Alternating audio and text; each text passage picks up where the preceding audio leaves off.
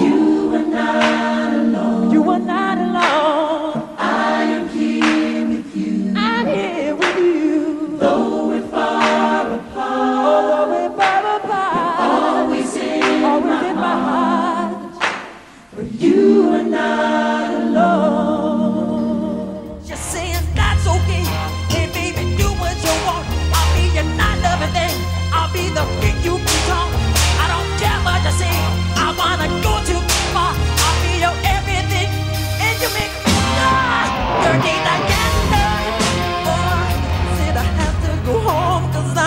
tired, you see.